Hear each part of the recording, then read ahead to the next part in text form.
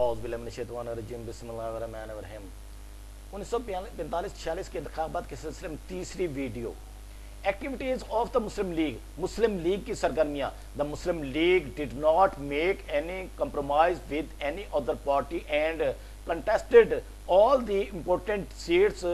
Single handedly Muslim League یا کسی دوسری پارٹی کے ساتھ کوئی سمجھوتا نہیں کیا اور تمام اہم نشستوں پر اکیلے ہی مقابلہ کیا the election for a matter of life and death for the Muslim League. The Qaeda Azam toured throughout the subcontinent and pursued the Muslims to get realized the importance of the elections. انتخابات مسلم league کے لئے زندگی اور موت کا مسئلہ تھے قائد عظم نے پورے برسیر کا دورہ کیا اور مسلمانوں کو انتخابات کی اہمیت کا احساس دلایا The the the openly challenged that Muslim League would prove demand for for Pakistan as only option left Muslims. League Pakistan کے مطالبے کو ثابت کرے گی اور مسلمانوں کے لیے واحد آپشن رہ گیا ہے چھیالیس کے انتخابات میں مسلم لیگ نے جو نعرہ لگایا وہ تھا بن کے رہے گا پاکستان لے کے رہیں گے Pakistan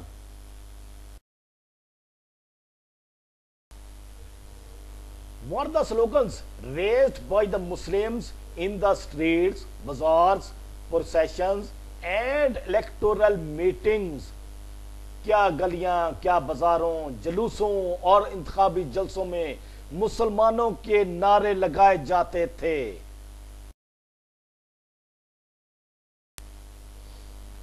results of the election election के नतज following were the results of the elections. इंतबात के नतज जर्ज जैल थे Federal Assembly, वफाकी assembly The election of the Federal Assembly was held in December 1945 on the basis of a separate electorate. 30 seats were allocated to the Muslims. The Muslim League won all these. وفاق assembly کا election دسمبر انیس سو پینتالیس میں علیحدہ voter کی بنیاد پر ہوا مسلمانوں کے لیے تیس نشست مختص کی گئیں مسلم لیگ لیگیں تمام نشستیں جیت لیں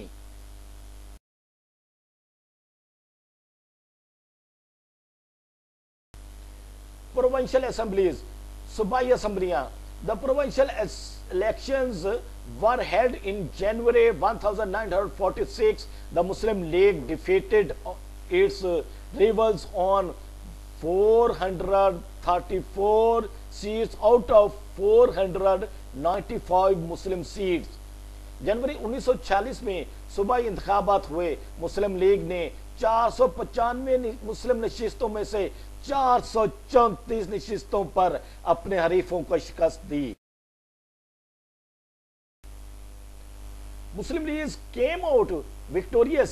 دا claim of the Quaid proved true and the ایبسلیوٹری majority of the Muslim supported the demand for Pakistan now no power on earth could stop Pakistan from coming into being Muslim league جیت گئی قائد کا دعویٰ سچ ثابت ہوا اور مسلمانوں کی متعلق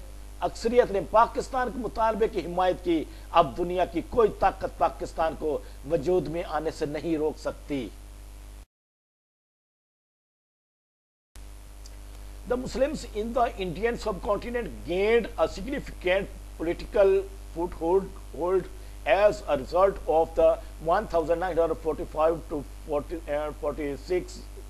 general elections. The Muslim League, which was led by Muhammad Ali Jinnah and campaigned for a separate homeland for Muslims, won a majority of the Muslim seats in the provincial elections. برسگیر پاک و ہند میں مسلمانوں نے انیس سو پنتالیس چھیالیس کے اندر عام انتخابات کے نتیجے میں ایک اہم سیاسی قدم جمعیا مسلم لیگ جس کی قیادت محمد علی جناح کر رہے تھے اور مسلمانوں کے لیے ایک علیحدہ وطن کے لیے مہم چلائی صوبائی انتخابات میں مسلم نشستوں کی اکثریت حاصل کی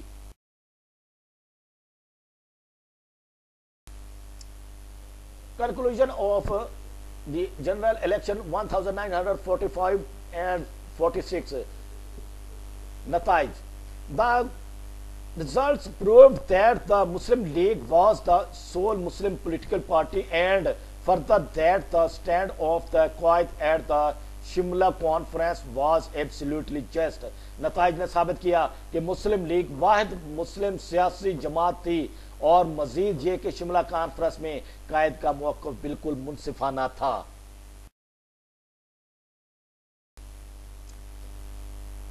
Now no one could fix responsibility for him for the failure of the Shimla conference. These elections paved an easy way for the creation of Pakistan اب شملہ کانفرنس کی ناکامی کی ذمہ داری ان پر کوئی نہیں ڈال سکتا تھا ان انتخابات نے کیا میں پاکستان کے لیے ایک آسان راستہ ہموار کیا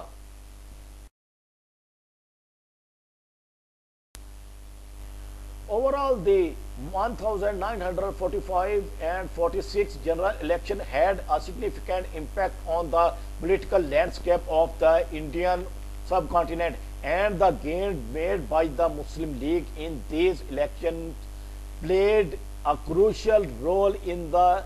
ایونچوئل پارٹیشن آف انڈیا مجموعی طور پر 1945-46 کے عام انتخابات نے برے سگیر پاک و ہند کے سیاسی منظر نامے پر نمائع اثر ڈالا اور ان انتخابات میں مسلم لیگ کو خاصل ہونے والی کامیابیوں نے ہندوستان کی حتمی تقسیم میں اہم کردار ادا کیا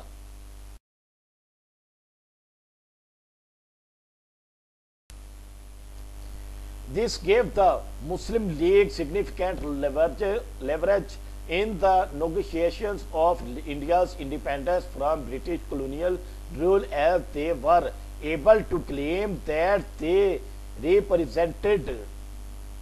the interests of Indian Muslims. اس سے مسلم لیگ برطانوی نوبادیاتی حکمرانی سے ہندوستان کی ازادی کے لیے ہونے والے مذاکرات میں نمائع فائدہ حاصل ہوا کیونکہ وہ یہ دعویٰ کرنے کے قابل تھے کہ وہ ہندوستانی مسلمانوں کے مفادات کی نمائندگی کرتے ہیں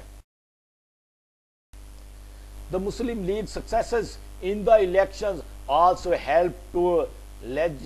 legitimize their demand for a separate Muslim state which eventually led to the partition of India and the creation of Pakistan ان انتخابات میں مسلم لیگ کی کامیابی نے ان کے علیحدہ مسلم ریاست کے مطالبے کو جائز بنانے میں بھی مدد کی جو بلاخر ہندوستان کی تقسیم اور انیس سو سنتالیس میں پاکستان کی تخلیق پر منتج ہوا